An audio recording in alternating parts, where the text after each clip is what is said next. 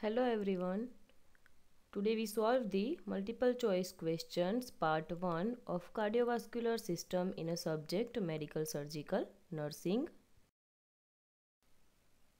So before starting the topic, I request you to please like, share and subscribe my YouTube channel.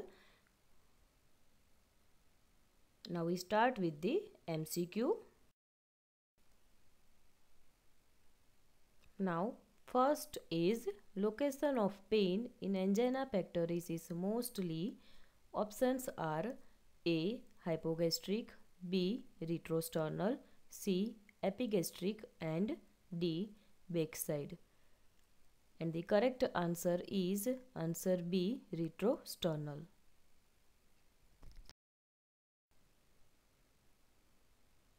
Then second atherosclerosis means Option A dilatation of arteries.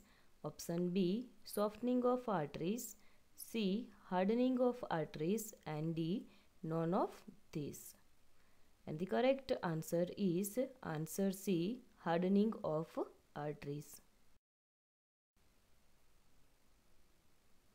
Third, Raynaud's disease is a option A neurological disorder, B digestive disorder, C. Respiratory disorder.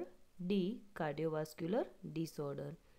And the correct answer is option D. Cardiovascular disorder. Fourth, in following which is risk factor of varicose veins? Options are A. Congenital weakness of the vessel wall B.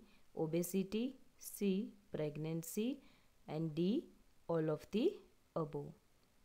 And the correct answer is answer D all of the above are risk factors of varicose veins that are congenital weakness of the vessel wall, obesity and pregnancy.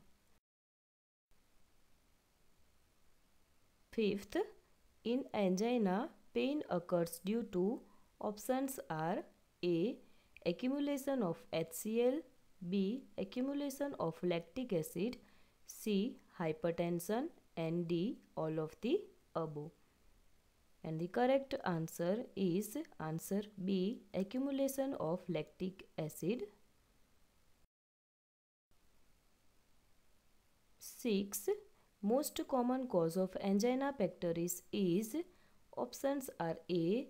Blockage of coronary artery B. Blockage of renal artery. C. Malnutrition. And D. Post-personal hygiene. And the correct answer is answer A. Blockage of coronary artery. 7. Which of the following is not a risk factor of atherosclerosis?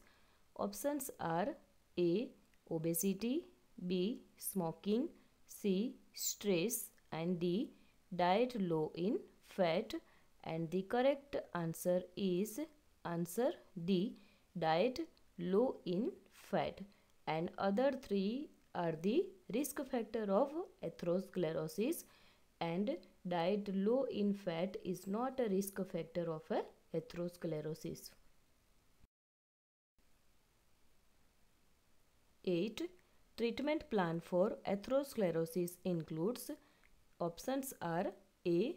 Decrease cholesterol in diet B. Stop smoking C. Anti-hyperlipidemic drugs and D. All of the above.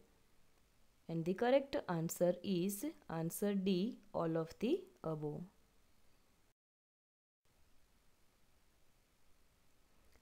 Nine. The disease characterized by formation of thrombus with inflammation is options are A. Angina pectoris B. Endocarditis C. Vasculitis and D. Thrombophlebitis.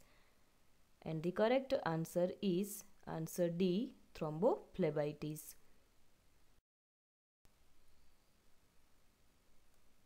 Ten. Angina pectoris is a options are A. Neurological disorder B. Digestive disorder C. Respiratory disorder and D. Cardiovascular disorder and the correct answer is answer D cardiovascular disorder. 11. Disease aneurysm is characterized by options are A. Intermittent episodic spasm of the arterioles of the extremities. B. Vasculitis of small and medium size of veins of the extremities. C. Dilatation of sac formed on the wall of an arterial vessels. Then D. None of the above. And the correct answer is Answer C. Dilatation of sac formed on the wall of an arterial vessels. Now 12. Shock occurs due to overwhelming infection is known as options are A. Cardiogenic shock B. Septic shock C. Neurogenic shock and D. Hypovolemic shock and the correct answer is answer B septic shock 13 all of the following are nursing measures to reduce venous stasis except options are A wearing elastic stocking B encourage mobility C don't cross legs when sitting and D prolonged sitting. And the correct answer is answer D prolonged sitting.